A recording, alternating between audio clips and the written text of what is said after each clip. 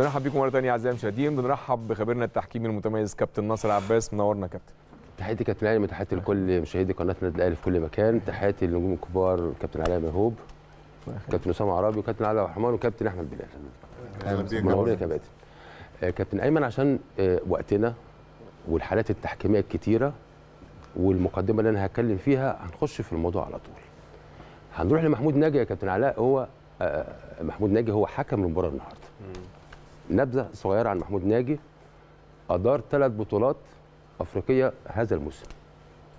ثلاث بطولات تبع للاتحاد الأفريقي هذا الموسم يا كابتن بلال. بس واحدة واحدة بس عشان نمشي ونشوف الدنيا ماشية إزاي. وكان مردوده كويس في ثلاث بطولات. طيب الحاجة الثانية ودي اللي أنا مستغرب لها لم يدير أي مباراة للنادي الأهلي حتى هذه المباراة. يعني الدوري خلص وحكم دولي؟ ومصنف لم يدير أي مباراة للنادي الأهلي ولم يدير أي مباراة لنادي بيراميدز. السؤال تاني.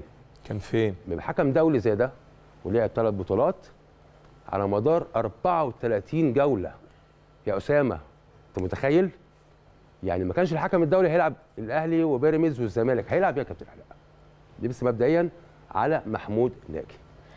وأنا النهارده ده السؤال من لجنة الحكام. يعني أنا النهارده عندي سبع حكام دوليين يا كابتن. لما بيكون عندي حكم في أفريقيا ماشي المفروض أنا النهارده بديله الماتشات المهمة والصعبة عشان خاطر يا كابتن علاء يبقى في الإيه؟ الطبيعي على فكرة. بالظبط كده. ولكن ما حدث اليوم في هذه المباراة اولا فقدان تركيز من الحكم. آه، هو نزل المباراة اولا ما كانش مباراته. الفكرة ما كانش هو متعاون فيها بلال. اللي كان متعاون في هذه المباراة كان محمد عادل. وايه اللي حصل. واعتذر محمد عادل عن المباراة. فتم إسناد المباراة لمحمود ناجي. يعني سيناريو وإحنا ما عندناش وقت نتكلم بس هنتكلم في تفاصيل بعد كده. أنا بس بديك الملحوظة إن هو النهارده آه، حكم في المباراة المفترض يعني المفروض النهارده أنا يا بلال آه، أنزل أعبر عن نفسي كحكم. ولكن المباراة مفيش فيها أخطاء تحكيمية مؤثره ولكن فيها مشاكل كتيرة جدا. يعني أنا عشان أقعد جبت 15 حالة يمكن سمير كان معايا بره قلت له طب اعرضهم إزاي؟ 15 حالة تحكيمية. الحكم لم يسيطر على المباراة حالات كتير عدت منه. يمكن آه، يعني كابتن علي النهارده ما كانش مسيطر وهم كان سبب في توتر المباراة كان حكم الميدان. محمود ناجي النهارده ما كانش في الفورمة أتمنى إن هو يرو يعني يروح يشوف الحالات اللي إحنا هنجيبها دي والكلام ده إحنا بنقوله لحكامنا كلها.